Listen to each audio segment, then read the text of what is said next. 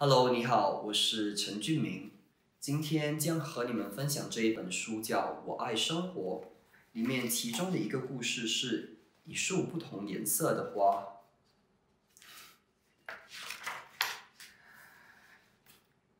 野猪老师学问又多又好，上课的时候还经常给同学们讲故事，同学们最爱上他的课了。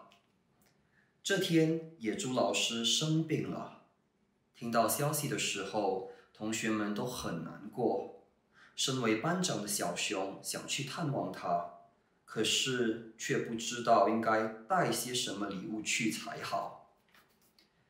小熊又想，班上应该还有很多同学也想去看看野猪老师吧。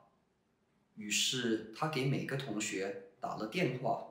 还说了一句悄悄话。第二天，小兔子、小松鼠、小花鹿、小猴子和小熊都来探望野猪老师。每一个同学的手上都拿着一支鲜花，要送给野猪老师。班长小熊送的是一支红色的。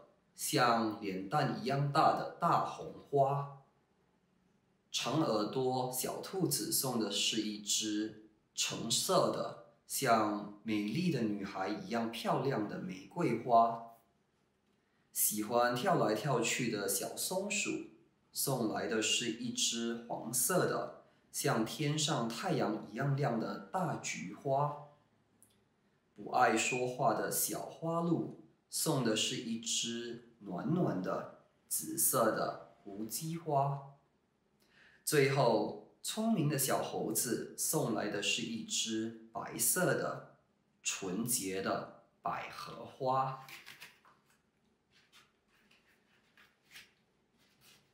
小熊把大家的花都插在花瓶里。野猪老师看着床边的那束五颜六色、美丽的鲜花，高兴地笑着。